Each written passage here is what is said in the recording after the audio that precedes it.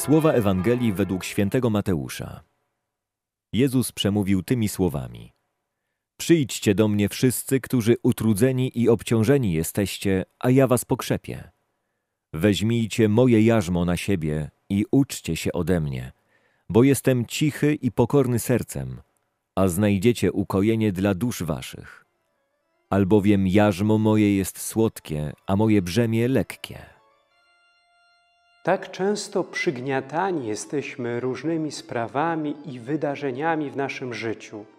Czasem nawet poddajemy się zwątpieniu i pesymizmowi. Tracimy nadzieję na lepsze jutro. Powoli godzimy się na własny los, w jarzmie i ciężarze nie do uniesienia. Z dzisiejszej Ewangelii możemy jednak zaczerpnąć nadzieję.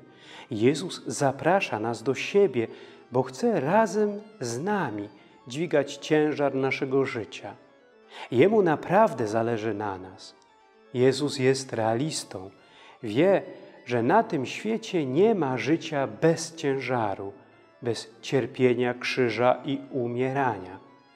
Wcale też nie chce nas przekonać, że życie z Nim daje gwarancję beztroski i całkowitej swobody. Mówi przecież jasno, że Jego jarzmo jest słodkie, a ciężar lekki.